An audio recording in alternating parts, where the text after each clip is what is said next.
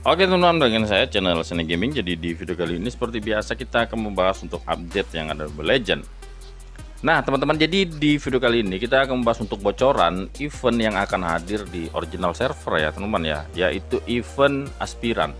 Dan di sini kita akan bahas untuk event bonus khusus aspiran Unity ya teman-teman ya yang akan hadir nanti di Mobile Legend karena untuk event skin terbaru aspiran ini sebentar lagi akan rilis Nah, di sini kita bisa ngedapetin beberapa efek battle eksklusif dari event aspiran yang kedua ini ya, teman ya, seperti efek spawn. Lalu juga ada efek notif efek eliminasi ya, teman ya, dan juga border. Di sini ada border light of the aspiran, ini bisa kita dapatkan di event ini. Plus di sini juga ada emote ya. Emote dari skin Angela Nah, di sini kita harus ngumpulin fragment battle suite ini ya, teman ya. Biasanya untuk battle suite fragment ini itu teman-teman bisa dapatkan di bonus khusus ya atau bonus event di mana itu kita semacam melakukan top up atau menyelesaikan misi yang ada di eventnya nanti dan kita bisa dapat battle suite fragment tersebut dan nanti bisa kita tukarkan dengan efek battle eksklusif tersebut. Nah, di sini untuk di peraturannya ya bisa kita lihat ya itu kita dapatkan di event bonus spesial aspiran unity dan pastinya untuk event itu akan hadir ya di event nanti dalam rangkaian event aspiran teman-teman Nah, di sini juga ada beberapa item yang hadir secara terpisah, di mana untuk recall itu ternyata akan hadir dalam event gacha, teman-teman. Di mana kita harus melakukan gacha ya dengan menggunakan diamond untuk mendapatkan recall tersebut secara permanen. Lalu di sini juga ada secret statue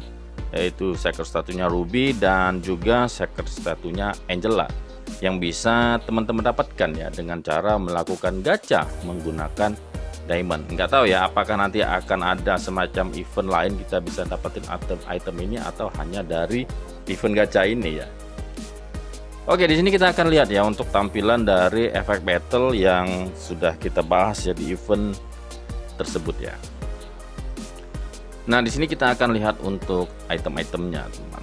Untuk motif belum ada, lalu untuk di efek spawn ya, itu efek spawn ada ya untuk event aspiran ini.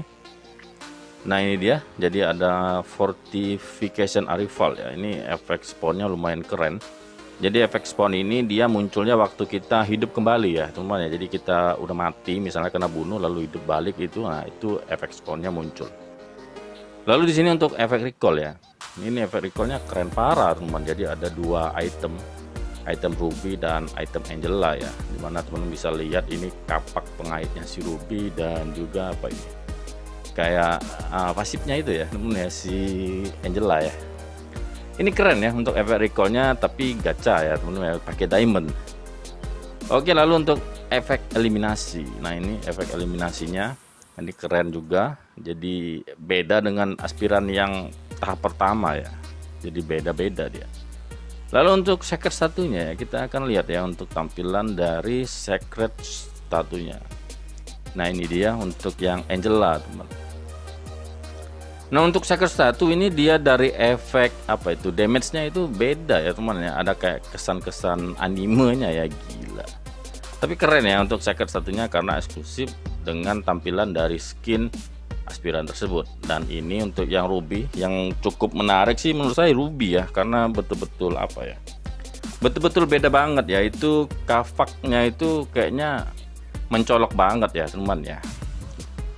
Jadi itu dia untuk secret statusnya kalau untuk emotnya coba kita lihat apakah bisa kita lihat ya untuk bocorannya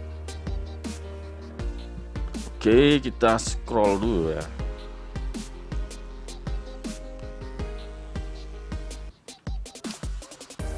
Oke. Untuk emot kayaknya nggak ada ya teman ya. Jadi kita belum bisa lihat. Jadi itu dia teman-teman untuk event bonus aspiran ya yang nanti akan hadir di Mobile Legend di event aspiran dari skin Ruby dan Angela. Jadi tinggal kita tunggu saja untuk perilisan event ini. Terima kasih teman-teman telah menonton. Kita ketemu lagi di video yang lainnya. Bye bye.